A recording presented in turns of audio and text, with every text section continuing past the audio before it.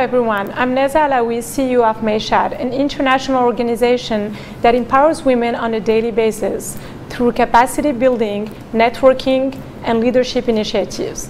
Today, you're watching The Women's Advocate, our weekly show that hosts women who advance society and champion diversity, equity, and inclusion. Our guest today is Rebecca C. Assembly member representing the Upper East Side and Yorkville and Roosevelt Island in New York's 76th Assembly District. Hello, Rebecca. Rebecca has been lifelong advocate for women, education, and climate change. Rebecca is in the Assembly Education Committee. You champion our public schools and helped obtain more than 1 billion in the new state support. Your bills have been signed into law implementing a study on consumer financial literacy requiring health insurance policies to include 3D mammography at no cost for the consumer. You've been encouraging greater representation of women on corporate boards and identifying how many policy-making positions are held by women in the New York State government. In response to COVID, you co-sponsored emergency legislations that suspend rent payment for small business commercial tenants and certain mortgage payments. Rebecca, you've been the first um, woman to serve in our district. Can you tell us how it feels to be the first woman? Well, thank you so much for having me on your show today. I, I just admire so much all that you're doing with your organization. Uh, back in 2014, I was recruited to run for the uh, position of state assembly on the Upper East Side and Roosevelt Island. A woman had never held this seat before, so the National Organization for Women and the Eleanor's Legacy Foundation reached out to me. There were four men running, and uh, they said, Rebecca, we're, we're looking for a, a, qualified woman to run. I was currently serving on Community Board 8, mm-hmm. and uh, so I entered the race. And uh, I said, There's only four men. And uh, so here we are today, several terms later, and uh, just worked really, really hard passing legislation for the district in response to the constituent needs. But we do need to focus on more women getting elected uh, to office. Women currently represent under 30% of the members in the Senate and the Assembly in New York. We think of New York State is a progressive state, but yet we are so far behind with other states on the number of women that we elect to political office. So our audience today is here to listen to us and, and also see how they can help us create change. How do we um, get more involved, uh, uh, sorry, how do we get more women involved in civil society and also running for office at all levels? Well, that's a great question. And like I said, the two organizations that recruited me to run, the National Organization for Women and the Eleanor's Legacy Foundation, uh, are organizations that work very closely with women, uh, encouraging them and training them to run for political office. There's also Emily's List, which stands for Early Money is Like Yeast, and they generally support women running at the federal level. There's a group here locally uh, in New York called Tri-State Maxed Out Women and they uh, are a PAC. They encourage women to write checks, so it's not just men that are writing the checks. Uh, and they recruit and train women to run, and then they fund them through this tri-state PAC. And uh, they've been a strong supporter of mine. Hillary Clinton is hosting a an event for my reelection on Monday night. Right. And uh, so there are numerous organizations out there, such as the organization yourself, that promote women, encourage networking, and provide support. Thank you. Uh, we feel honored to be represented by you because um, as individual organization, as women in the corporate world, business life, and, and as politicians, we always need to look up uh, for women who are running like you and, and feel that we're supported um, by, by women leaders in offices like you. So this year's election is very particular through COVID and, and through all the, the, the, massive stress and uncertainties that are going on, how can we um, engage our audience um, of women to, to support more votes as every woman can be a micro influencer in her own community? Wow, that's, that's just such a terrific question. Uh, this past July, we made a lot of changes to the uh, election law after we saw the mistakes that were made in the June primary of people not getting their ballot until in the mail until after the election. Um, back in the last presidential election, there were long lines wrapped around the block of people waiting to vote. So we listened to the feedback that we got from voters and we tried to implement some new laws. So now, for instance, you can go right online to a portal at the New York City Board of Elections and register to request your absentee ballot. It comes with a confirmation number and a tracking number. My office has handed out hundreds of absentee ballot applications. If you don't feel safe mailing it through the mail, you can just, the governor signed an executive order a while back where you can drop it in a drop box at early voting. Early voting starts on October 24th and it runs for 10 days and there is a drop box there so you can deposit your absentee ballot at the actual voting place or you can simply just put it in the mail. If it doesn't have enough postage or any postage, the law now says that they still have to count your ballot. So we have made a, a number of changes. Um, and so we're in, I think, GOTV right now, which stands for Get Out the Vote. It's no longer the election day of November 3rd like we used to know it. It's right now. As I'm out in the streets every day campaigning, people are saying, I've already voted absentee. And so people are voting every day. Great, so no excuse for anyone. So, um, could you talk to us about your interest in sustainability and environmental issues? So I received a 100% rating from the New York Conservation League uh, for my environmental record. We've sponsored some uh, the Clean Water Act legislation, and we've held numerous shredathons on the Upper East Side in Roosevelt Island. Uh, recently, I featured on one of my government town halls an expert on composting. So we're educating people to recycle and to practice uh, composting and shredding, and we're literally putting tape on the sidewalk.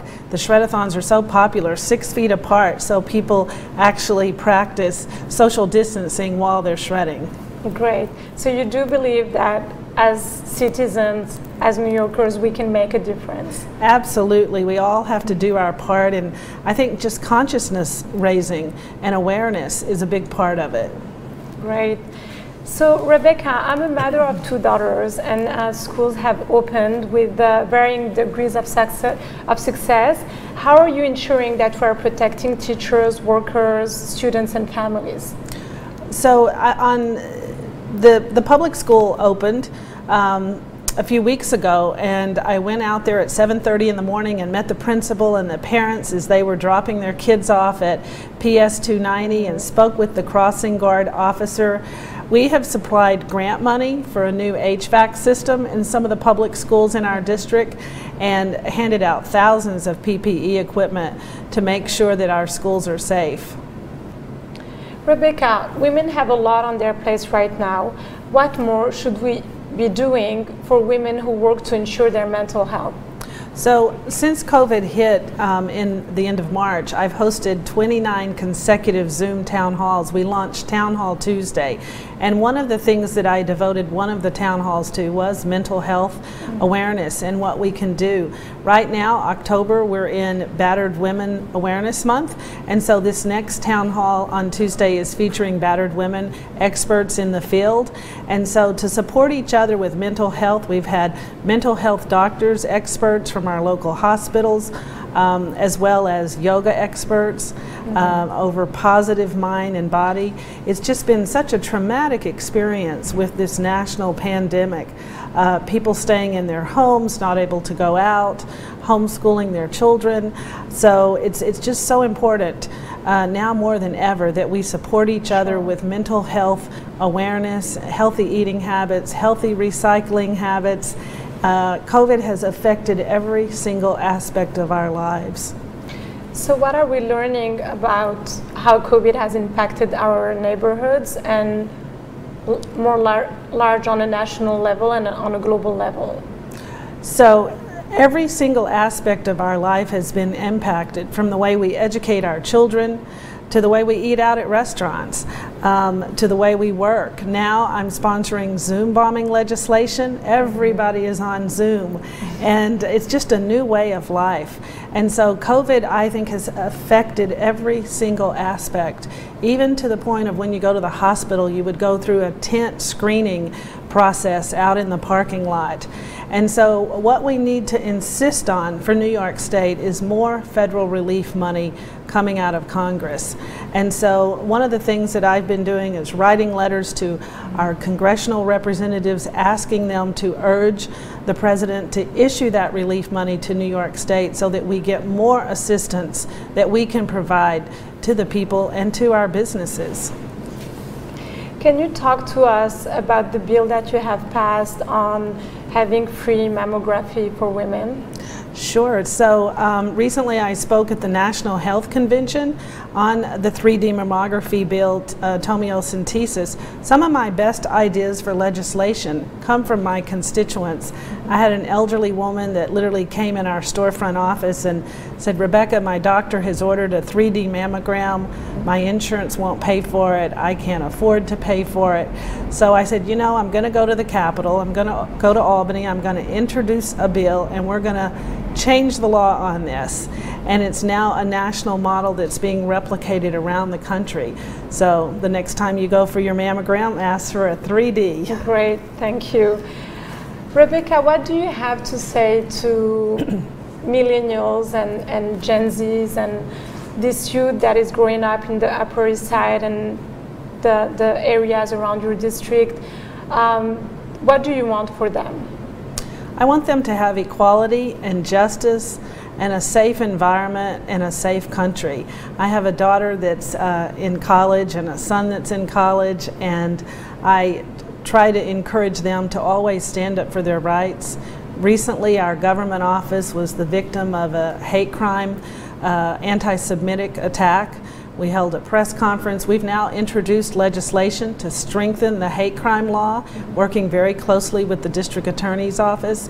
So what I try to encourage our young people, and as I travel around to the both public and private schools in my district, mm -hmm. I always say, don't be intimidated, don't be afraid, fight for your rights. And um, remembering the late United States Supreme Court Justice Ruth Bader Ginsburg mm -hmm. uh, and some of her great quotes. I recently published an article on her life uh, as an op-ed in the Our Town newspaper and she was famous for saying women are never going to have complete equality until they're recognized in the Constitution.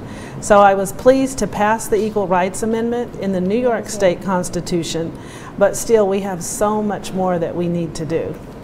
Thank you. Um, Rebecca, is there any bill that you're working on currently that you would like to share with our audience? Oh, I have numerous bills.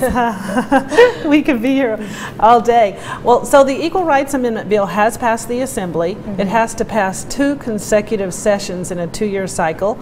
It also has to pass the Senate. It doesn't require the governor's signature because it needs to be put uh, as a referendum before the people for a vote. So uh, I am still continuing to fight for that passage in the Senate yeah. and then pass it a second time in the Assembly and then it'll go as a referendum. So that's one of my priority pieces of legislation. And then of course the Zoom bombing uh, bill that we're doing and the hate crime legislation. Those are my top three priorities right now, as well as continuing to fight for more dollars and more relief for our communities. Our office is fielding calls every day, people needing help with their unemployment claims, mm -hmm. with their landlords, uh, and a way to reinvent themselves professionally because they were let go from their job. And so providing skill services. What do you think, and, and what is your belief when it comes to um, entrepreneurship? I think that we need to encourage entrepreneurship and we need to, um, I regularly refer people to the Small Business Development Center so they can write business plans and apply for business loans. Uh, and I think we need to really encourage more entrepreneurship, particularly among women. And again, I just want to commend you on your organization and its mission and focus. I think that um, you know what you're doing for women and for empowerment is absolutely wonderful. Thank you, Rebecca. I think that Um, we all have to, to advance society hand, hands in hand and uh, not expect everything from representatives and actually be supportive with the civil society. So uh, it was an honor hosting you today. Thank, Thank you, you, so much. It is a, a, challenging time, but also a time full of hope for the future. Um, it was great hosting you. Thank you, Rebecca. Thank you very much for having me.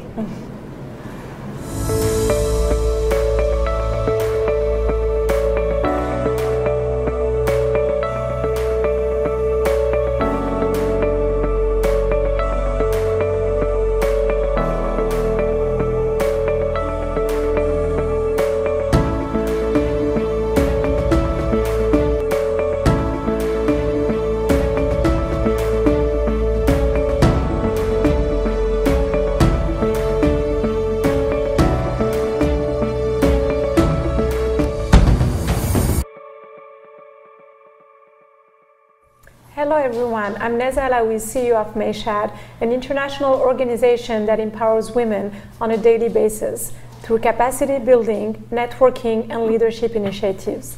Today, you're watching The Women's Advocate, our weekly show that hosts women who advance society and champion diversity, equity, and inclusion. Our guest today is Lorraine DiFranco. Lorraine is a journalist, anchor, and a mother of two, as well as an artist. Hello, Lorraine. Hello, thank you for having me. I'm so Thank happy to be here talking about empowering women, which is a subject near and dear to my heart. totally, and I feel that we're gonna have a lot of fun today talking openly on all the challenges that women face when they have to advance their careers, or in your case, um, being in the media, in front of the camera all the time. So, how did you choose to become a journalist? Well, my passion for writing has always been there. I've always loved writing, and um, I did want to be an actress at one point. But my parents said, We're not going to pay for college if you become an actress. So I said, Well, how can I combine my writing, my love of writing, my passion for people, and my curiosity of people, and being in front of the camera? So I decided to become a journalist. And um, I always wanted to be a witness to history. And as a journalist, you get to see so many incredible things in your life. Um, for example, covering the Pope, or covering major moments in history, covering 9 11. All these things which you are an eyewitness to historical events. It, it's really an incredible thing. I, I am sure, and, and we'll get to talk more about how you covered 9 11. Um, so, you chose to become uh, a journalist, and um, how was it as a woman to be facing the pressure that women face when they are in the media and how they are being selected to become an anchor? Well, I started out as a news reporter, and um, I was told that I probably wouldn't make it in the major markets because I wasn't blonde and I didn't look like the quintessential anchor. However, I was very uh, persistent, and I had uh, I grew up in an Italian family with two brothers, and I was always competing with them and showing them that I could do what they could do, only better. they would say otherwise, but um, so I, I knew that I wanted to do something. I was determined and I knew I could get there. However, there is a huge emphasis on your appearance in the news business, but you also have to be smart and articulate and curious. And, and so that persistence and that belief helped you go through it and make it. And I think this is a great message to the women that are listening to us, younger generation, uh, women in transition in their careers, um, to, to, to keep reminding them that with the right persistence and a little bit uh, ignoring the gender gap and just getting over it and believing that they can make it, they will make it. Well, I never really thought of myself as um, facing a gender gap. You know, I kind of put that aside and said, I'm a woman. I can do anything a man can do. You know, obviously there are differences, but I always felt that I was an equal. And I always tried to present that way because it is hard. You know, men do make more money.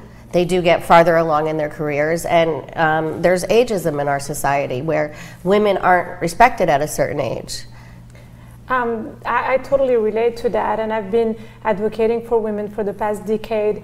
And um, my own journey has been to really totally ignore the limits that I had as a woman, and uh, also grew up with the with the brother, and just you know being a tomboy out there and turning mm. into this young women that wanted to change the world.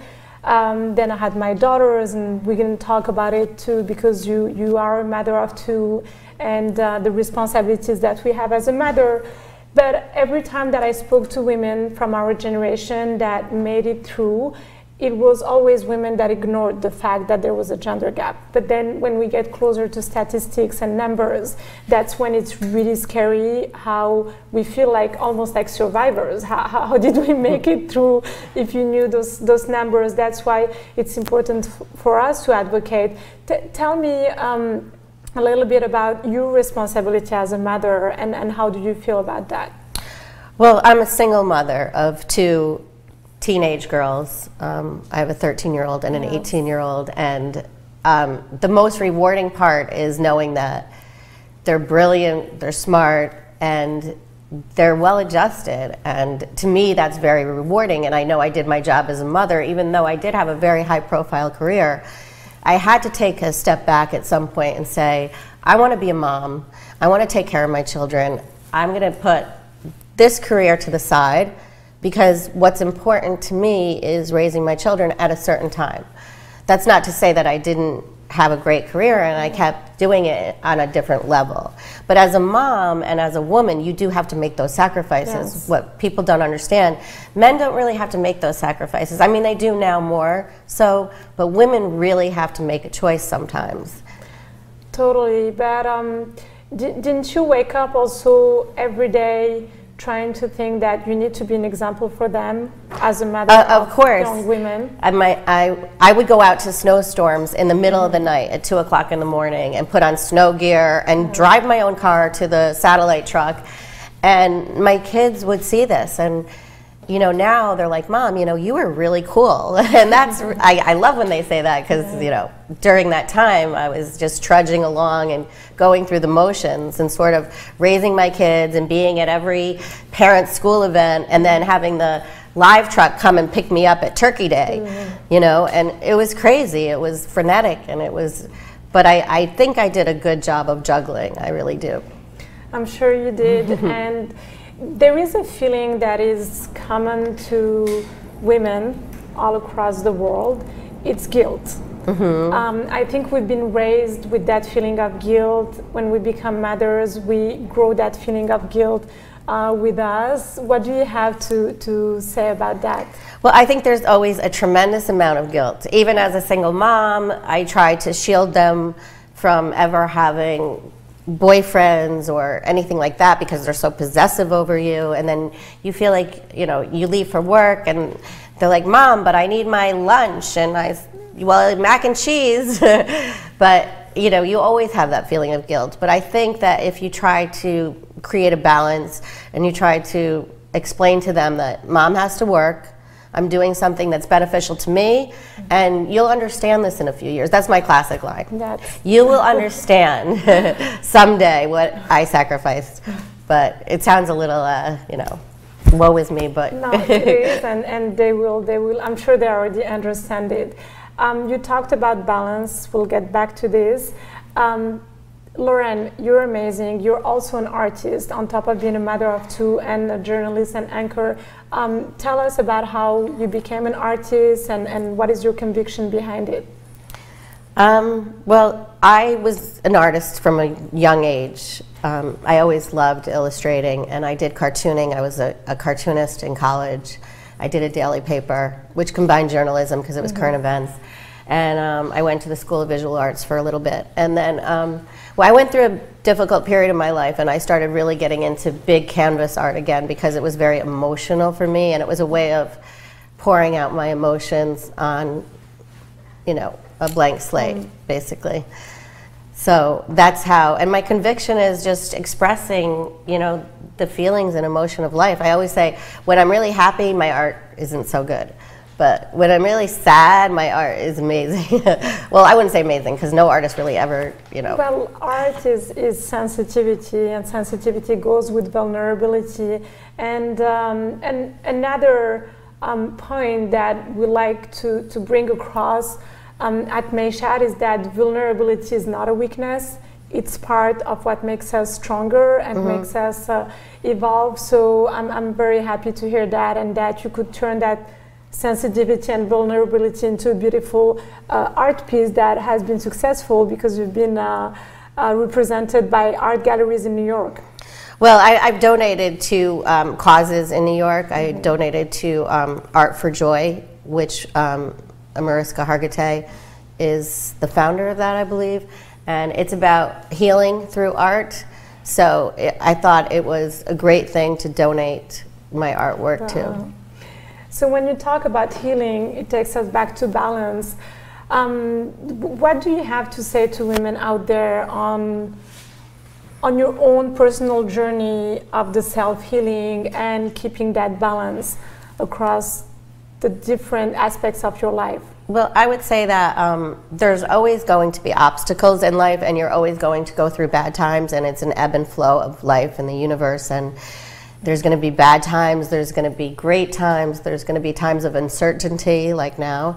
And you have to just keep going and pushing forward. And life isn't, you know, what we thought it was going to be when we were kids. And, you know, we had the happy ending and the fairy tale princess, and someone's going to come and save you on the white horse. You know, you have to tell your children that no one's going to save you but yourself. You're going to, you know, you have to save yourself. I, I have been analyzing a lot. Um, how come I, I didn't personally go that route of waiting for the Prince Charming to save me and and why was I always that little girl with a lot of personality that wanted mm-hmm. to make things happen for myself and one point that comes to my mind is that as a child growing up with a brother, I watched Winnie the Pooh and Bambi and not the stereotypical uh, uh, girls Disney show that were picturing that. Mm-hmm. And I, I, do believe in, in that type of influence, and, and thank God we're seeing the content of media changing. And I'm sure your daughters have already seen a content where girls were warriors and, and um, out there. Right, it's a different it's a different narrative now for sure. It is. But I, I, grew up with brothers, and I really credit them for, especially, well, both of my brothers, but I had a brother who was really tough on me. Mm-hmm. And he taught me how to play pool, he taught me how to ski. Um, he would always give me tough love, so to speak. And I, I credit him because he made me a lot tougher and a lot more resilient. And, and I always had drive, but you know, you always have to have that little drive nudge. and resilience. Mm-hmm. So you covered 9/11, and uh, that's such a unique and very sad historic moment here in New York and mm-hmm. around the world. Um, I was in New York when, when COVID started, and as New Yorkers, we were all shocked and trying to picture what is the closest shocking moment that happened. I'm sure you've heard a lot of comparison with 9 11, and uh, you have your point of view on that. Well, I think during 9/11, we all felt that you know the world was ending for for a moment in time, and it was probably the most horrific and tragic event of our lives. And we've seen this um, act of terrorism uh, on our soil, which, which was devastating. Lost people in 9/11, mm-hmm. and I was actually pregnant at the time, so. Um, but we as a nation, I just remember those those images of we came together, and you know, uh, Mayor Giuliani, and you know, it was not political. It was we are Americans. We are all together, and um, in this time we're dealing with a lot of different things with the pandemic and with the political landscape as it is, and people not getting along and being divided and not talking to one another over politics and and the pandemic is, is, a, is really uh, interesting because we've never, you know, we haven't seen this since yes. the Spanish flu. So um, we have to look at it as we don't know what's going to happen. You know, 9 11, we had a, a time of, you know, it was terrible, but we recovered. Now we're going to have to reinvent the wheel. We don't know what's going to happen. I, I agree, and um, there is so much trust that that we have in New Yorkers, and then we always feel that as a New Yorker we are somehow stronger. Um, I come from an international background, and I was always fascinated by New York because whether you're the taxi driver or uh, a corporate person choosing New York out of all the cities in the world, uh, it will always make it that it's more difficult, but the, the, the energy, the adrenaline is going to be bigger, so it's not made for everyone. So I do believe that New Yorkers will get back in shape. It is a very uncertain time, but um, we'll do it. Um, I think you're right about that. New Yes. York always historically comes back, and Comes back. New Yorkers are a tough breed. We've seen Yes. we've seen a lot, and people who want to live in New York, they're there for a reason. Yeah, yeah, and it's not a city where you can fake it. You can't No. just be. Um, If you can make it there, you can make it anywhere. Great, uh, Lauren. It was an honor to have you, um, and and I hope to to really uh, host you more in our organization. We're Oh, thank you. I would love to. I'm really yes. um, very, you know, interested in ways to empower women and ways to get out that message that women Yeah. are strong and women are important And- and, their voices need to be heard. Totally, and, and your story is so inspiring. And Thank you. When, when we speak, we, we just don't know how much impact. I think we're not aware of how much impact it has on others. Um, so, so please, we'll organize uh, more occasions to meet again. Great. Thank you for having me. I really enjoyed it.